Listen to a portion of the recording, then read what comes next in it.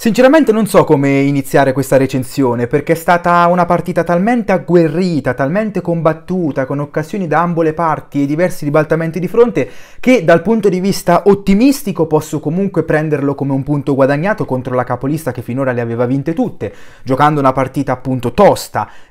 dinamica, senza risparmiarsi neanche un secondo fino alla fine. Dall'altro canto però dal punto di vista pessimistico è già la terza volta che giochiamo un big match anche in maniera positiva e non riesce a raggiungere la vittoria, perché con la Lazio hai pagato, secondo me, i primi 20 minuti di blackout totale, ma per il resto hai fatto una buonissima partita e il pareggio poteva starci tranquillamente. Con la Juve stessa cosa, tralasciando gli episodi arbitrali che non voglio più nominare, comunque a livello di gioco espresso dalle due squadre, un pareggio perlomeno te lo saresti portato a casa. Questa sera poteva benissimo arrivare la vittoria, ma come la nostra storia ci ha insegnato, pur sperando sempre di segnare nei minuti finali, avevo costantemente il pensiero che alla fine la beffa l'avremmo presa noi. Poi quando è entrato Mertens e compagnia bella ho detto questa vede che all'ultimo vanno a segnare loro, se la portano a casa come al solito e i tifosi della Roma non guarderanno mai la prestazione buona che hai fatto, ma solamente il risultato di 1-0 interno in casa. Quindi sono contento che perlomeno hai smosso la classifica fermando una squadra che di qui, a, mh, di qui alla prossima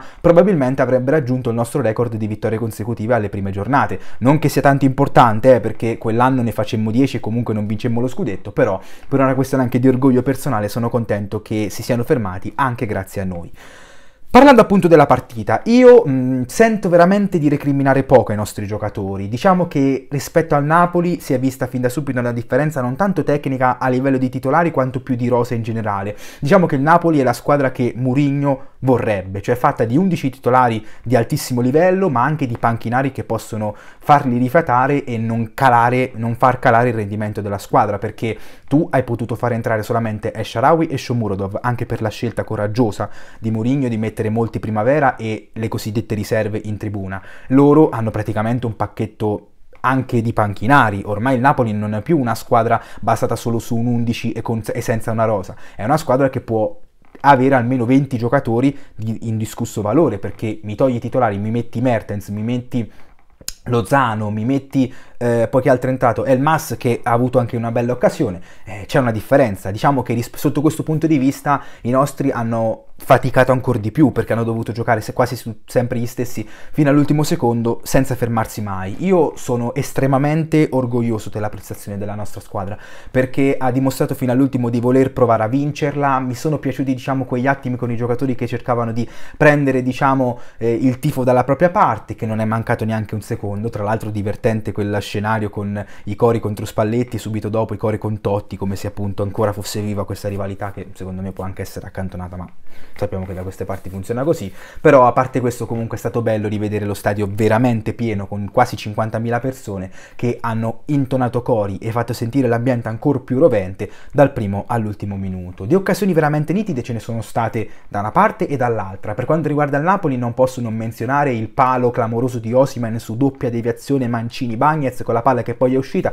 Io in quel momento ho avuto seriamente il pensiero che potessimo vincerla, perché se non, entra- se non è entrata in quell'occasione ho detto questo è destino che la vai a portare a casa. Però alla fine n- non ci sei riuscito, anche magari per qualche errore nella conclusione delle azioni. Se devo trovare un, un, appunto, un qualcosa che non mi è piaciuto, soprattutto nel primo più che nel secondo, è il fatto che tu hai costruito anche belle azioni, ma quando c'era diciamo da fare l'ultimo movimento, l'ultimo passaggio, l'ultima conclusione, hai spesso sbagliato. Magari hai fatto un passaggio troppo corto, tro- magari uno troppo lungo, magari uno troppo mm, non molto preciso. In conclusione, hai fatto un bel gioco secondo me, ma ti è sempre mancata l'ultima giocata più nel primo che nel secondo, perché io nel secondo tempo avevo paura che il Napoli uscisse e si portasse a casa la partita, visto che ultimamente ha fatto, ha fatto comunque partite di questo tipo, primo tempo guardingo, secondo tempo in cui esce fuori e riesce a raggiungere i tre punti. Ed infatti nel primo quarto d'ora è stato così, il Napoli ha preso diciamo il pallino del gioco in mano e ha appunto avuto l'occasione già citata di Osimen e ha varie altre opportunità per segnare l'1-0,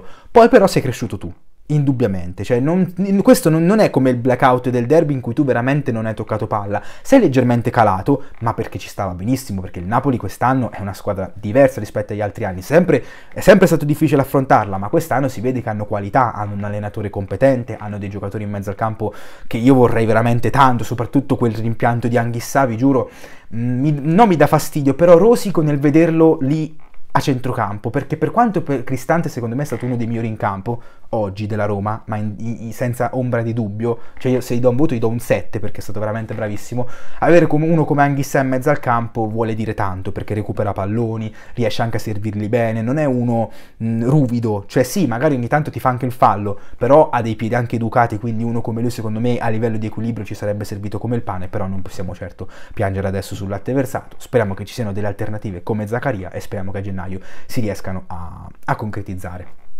L'esclusione delle riserve ci fa capire fondamentalmente che Mourinho continua a vedere solo 12-13 giocatori. E sicuramente è stata una scelta rischiosa come ho detto perché in alcuni tratti della partita diversi giocatori si sono fatti male, vedi Abram che comunque gli faccio i complimenti per essere rimasti in campo fino all'ottantesimo più o meno, è vero si è mangiato quel gol però non mi sento di accusarlo solo per quello, cioè non posso giudicarlo solo per quell'errore, sicuramente poteva fare meglio, forse ha influito anche il fatto che si era eh, fatto male sulla gamba pochi secondi prima e non si aspettava magari di ricevere un'occasione proprio appena si, è, appena si è rialzato, però ecco sicuramente quella è un'occasione che di solito non si, de- non si deve sbagliare, ma non voglio colpevolizzarlo perché appunto vedere che eh, ha deciso di restare in campo nonostante sembrasse ormai destinato ad uscire fino all'ottantesimo mi ha fatto capire che il giocatore con i suoi limiti che sicuramente migliorerà nel tempo ha tanta voglia di dimostrare e sicuramente ci riuscirà con la nostra maglia. Lo stesso Osimen che secondo me ha fatto una bella partita seppur con tante situazioni di fuorigioco che hanno fermato azioni pericolose del Napoli, eh, il primo anno non ha fatto benissimo per infortuni e varie cose, adesso è una forza della natura e sono contento tra l'altro che comunque sei riuscito a non far fare gol al Napoli, cioè guardandola dal punto di vista generale è vero, non hai vinto, magari in classifica non so se adesso sei quinto o sesto, però il Napoli credo che segnasse da più di 30 partite consecutive e non l'hai fatto segnare. E non è che c'è stato un dominio del Napoli, ma è stata una partita molto equilibrata e combattuta. Gli hai fermato la striscia di 8 vittorie consecutive, visto che finora anche incontrando squadre come Juve e, e pochi altri, comunque anche incontrando squadre importanti sono sempre riusciti a ottenere il risultato. Io sono contento. Mi dà fastidio solo che magari potevi avere un po' più di fortuna e te la portavi a casa, però non ho veramente nulla da rimproverare ai nostri giocatori se non appunto, come ho già detto, il fatto che all'ultimo è sempre un po' sbagliato la giocata quasi per paura appunto di... Mh, di, di sbagliarle, alla fine appunto ci, ci, sei riuscito, sei riuscito nell'errore. Adesso avremo una partita difficile mercoledì col Cagliari, una partita contro una squadra in netta difficoltà, con un allenatore che adesso deve ancora ritrovare la maglia, ma spero che non ci riesca contro di noi perché comunque c'è ancora tanto tempo per, ehm, per dimostrarlo. E, però per la partita di oggi veramente sono soddisfatto, sono soddisfatto, potevi anche perderla, con un po' di sfortuna potevi anche perderla, però mi è piaciuto l'atteggiamento della squadra che nel secondo tempo è più cresciuta che rallentata. Cioè io veramente ho visto una squadra che col passare dei minuti ha corso di più, è stata più attenta dietro, è stata una partita molto fallosa, veramente tanto fallosa da una parte e dall'altra. Sicuramente magari noi ci abbiamo messo più del nostro, soprattutto nel finale per evitare guai peggiori, ho visto falli uno di seguito all'altro, quindi è stato un po' un casino. Ci sono state le espulsioni di Murigno e di Spalletti, quella di Spalletti sembra che addirittura non, non dovesse esistere perché l'allenatore sembrerebbe che abbia applaudito eh, l'arbitro in maniera seria, mentre per quanto riguarda Mourinho diciamo che l'ha accettata anche lui perché veramente oggi era tarantolato e ha fatto capire, come se non ce ne fosse ancora bisogno, che lui non è venuto qua per perdere la reputazione, ma perché ci tiene al nostro progetto e vuole vedere una Roma vincente. Cosa che veramente io non capisco come pot- molti potevano avere dubbi su questo, cioè uno come Mourinho, orgoglioso e carismatico come lui, viene alla Roma per prendersi la pensione, ma con chi pensate di avere a che fare? Cioè, non mi pare che sia un vecchio di 80 anni che ormai non allenava più da anni, parliamo di uno che ha ancora tanta fame e tanta voglia di dimostrare, con i suoi difetti, però è uno che vuole vincere, è uno che per la Roma farebbe di tutto, come ha sempre detto. Vedremo un po' quello che succederà come ho detto appunto, secondo me è un punto guadagnato, un punto giusto. Ecco, diciamo che se noi avessimo vinto probabilmente molti napoletani avrebbero detto eh però anche noi abbiamo avuto le nostre occasioni, questo e quell'altro. E proprio questo mi dà fastidio, perché tu finora hai fatto tante volte questo discorso, con la Juve eh, hai giocato bene, però hai perso. Con la Lazio eh, hai giocato bene e hai perso. Oggi eh, hai giocato bene e pareggiato. Si sta facendo quel passo in più, perché comunque affrontare il Napoli ora come ora era difficilissimo. Ci manca quella mentalità in più, magari quella precisione in più nel finale per poter raggiungere appunto la vittoria. Speriamo che poi nel mercato invernale, resistendo fino a quel momento, arrivino anche le riserve che Mourinho vuole, così almeno potrai anche ehm,